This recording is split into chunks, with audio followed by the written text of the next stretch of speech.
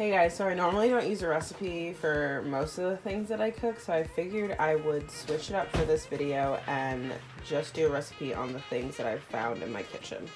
Um, or my pantry, fridge, whatever. So I have some peas, some mushrooms I need to use up, um, tomato paste, um, some ground beef, and an onion, and then a few of my seasonings, some taco seasoning that I need to use. So I figured I'd make some kind of casserole of some sorts. So hope you guys enjoy this random recipe and um, if you like more recipes like this, let me know in the comments down below and give this video a thumbs up.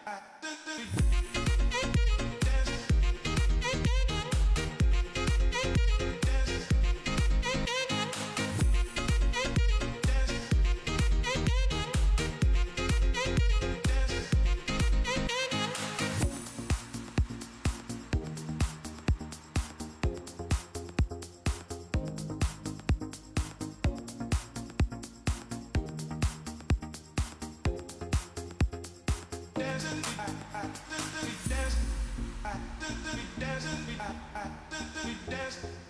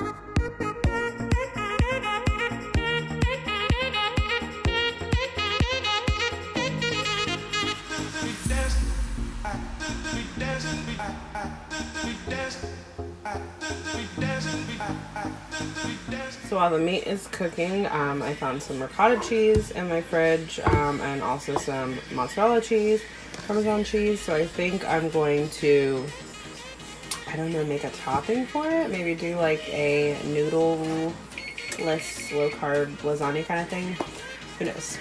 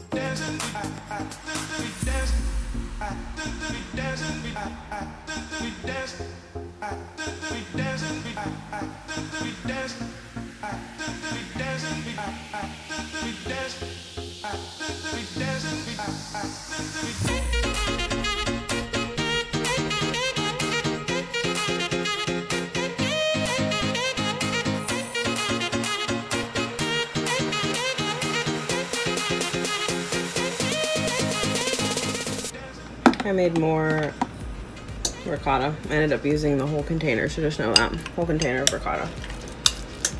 And then I'm just going to put on every side that isn't covered.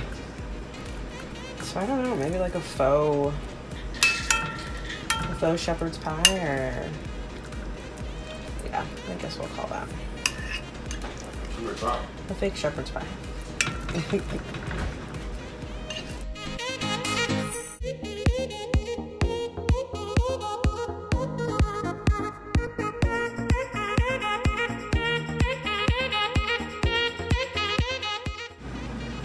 So it probably doesn't look the greatest right now, but all the flavors are coming together and they taste really good. So we'll see how this turns out.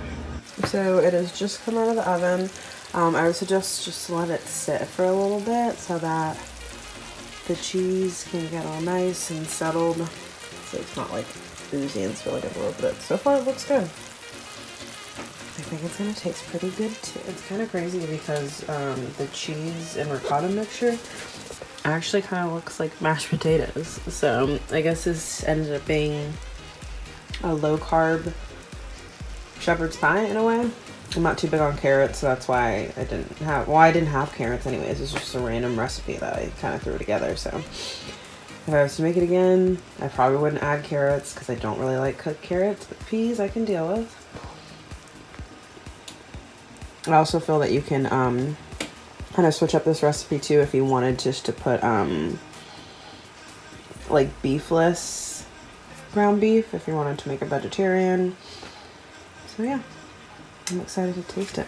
So let it cool for about 15 minutes, like I said, um, so that everything can settle and get all nice. Can't wait to try okay, it. guys, so I just got a little plate just to taste test it. A little hot sauce too, because you can never go wrong. But it's so crazy because the ricotta really looks like mashed potatoes, kind of. Let's try it. Mm-hmm. It's really good. And I don't even really like peas, but yum. Try this recipe out, guys. it's so good. Really good. Low carb shepherd's pie. Check it out.